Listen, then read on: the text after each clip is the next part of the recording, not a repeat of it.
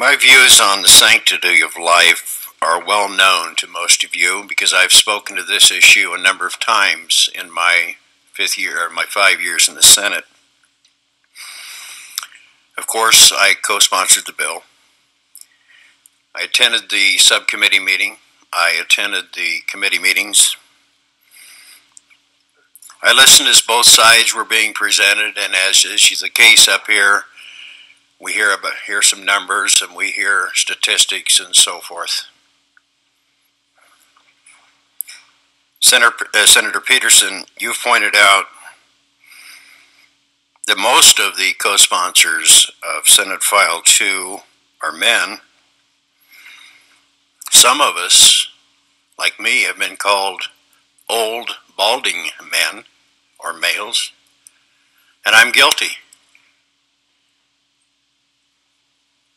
And I get your point.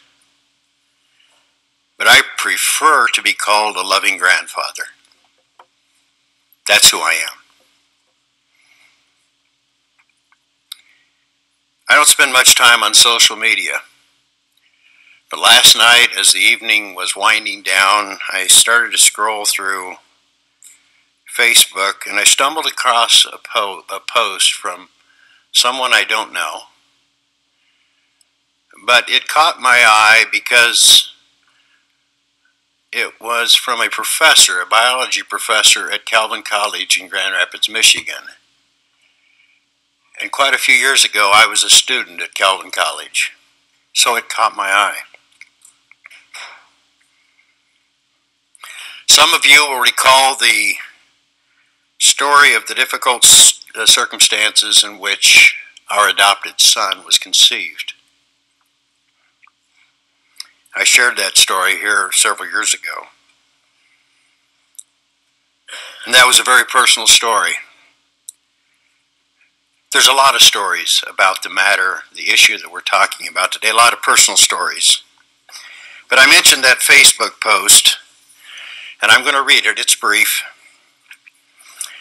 But it, is, it speaks to the issue of why a loving grandfather would co sponsor a bill that we're considering today.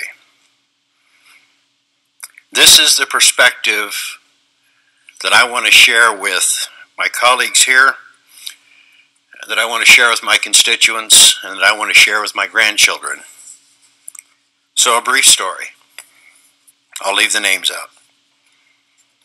For almost three decades, Calvin College professor has had a three month fetus encased in plastic that he uses in his human biology classes. He always thought of the tiny fetus as a good educational tool, but he's not thought of it. Pardon me? State your point. Senator Mathis, Senator Rozenboom, please come to the well. Listen, we need to get back on the bill. And Senator, this is so far off the bill right now that we need we need to talk about this. I respect you reading a Facebook post and something that is personal to you, but we need to get back on the subject matter of the bill. And the subject matter of the bill is about appropriating money to clinics in Iowa that provide women's health care services. Now, I didn't call Rule 9 on Senator Zaun, Senator but Mathis, we Senator are Rozenboom, way off please come track. to the well. And the argument I made in the well, just so you know, is that I observed that during this debate, we've talked about a lot of things, but as you might expect from me, I want to hear that silent voice. I want to hear from the voice of the unborn child. And that's the story that I read speaks to that. So, with your indulgence, I will continue. If it's out ruled out of order, I respect that. Thank you, Mr. President.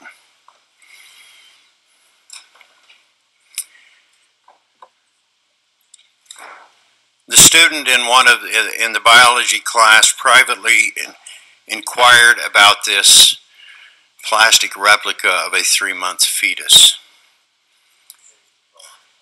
Intrigued, the professor said that he did. He had that old model, and he invited the young woman to his office for further conversation. There he asked why she was interested. She proceeded to tell him an amazing story. The young woman told the professor that a generation earlier, her mother had been a student in one of the professor's biology classes.